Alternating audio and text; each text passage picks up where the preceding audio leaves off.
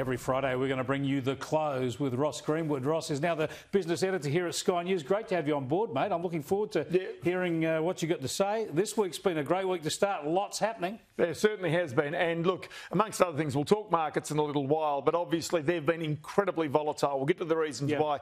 But today, the big breaking news is an inquiry that the government held into the expenses. Now, already remember, an expenses scandal has seen the chief executive of Australia Post, Christine Holgate, yeah. lose her job over watches. the watches, right?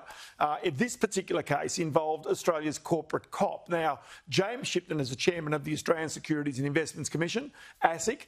And already James Shipton um, was the man who was charged effectively with putting the steel in, in our corporate cop, taking on uh, the big end of town, in particular after the Royal Commission into banks and the financial system. Now, what had occurred is that James Shipton, when he came to Australia, had effectively uh, been given between some uh, $300,000 and $500,000 for moving expenses. He used $118,000 of that for tax advice as he was coming back to Australia.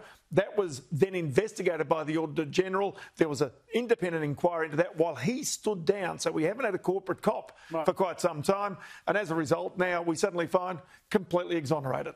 Right, so he's going to stick around or no? Go he's going to lose his job. So here's the interesting thing: Dan Crennan, who also was investigated, he was the head of enforcement. He was the head kicker. He's gone because of $750 a week in rental allowances. He's been exonerated, but he's gone. And then what you've got is you've got a situation where now um, James Shipton will go, and the question is they've got to start all over. So what happens, in my mind, to all of this investigation? Yeah. Yeah, I mean, this is so important. It's never been more important to have a corporate watchdog, and we're starting from scratch again. Start from scratch. Hey, tell me about what's going on in the US. This is an amazing story, this GameStop Reddit thing.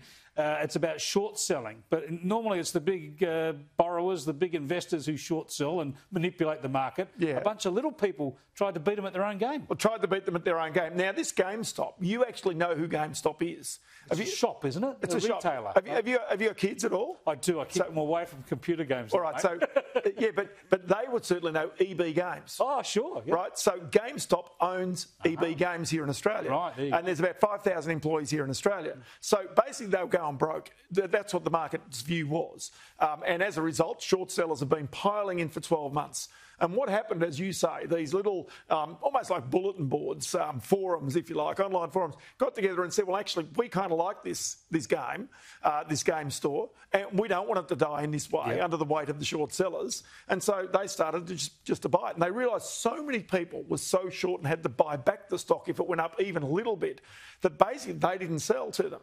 And so the stock price went up and up and up and kept on going up. And, and, so, really, this was one of the most amazing, almost double crosses or stings that you have ever witnessed. And that's the reason why there was such enormous volatility on Wall Street this week. So, who loses out of this? The big investors or the little people, or is it still to play out? Well, there were hedge funds who were literally suggested to be going bankrupt. As it turned out, they've had to basically bail out. In other words, they had to buy back the stock. Yep. So, they had to buy it back from the little guys or from someone at least anyway. And when they finally bought themselves out. Hundreds and hundreds of millions of dollars, even billions of dollars, have been wiped out from some of these hedge funds. And some of those little guys, a bit like Bitcoin, have made 10, 15 times their money. Extraordinary stuff. And overall, the market's down this week. It's been a tough week. Down. And as a result of not just that volatility, because some of the tech stocks here got hammered because it was feared that tech sectors around uh, the world would be affected. But if we go and have a look at the markets, what we can see is that the S&P uh, ASX 200 is down by about 2.8%.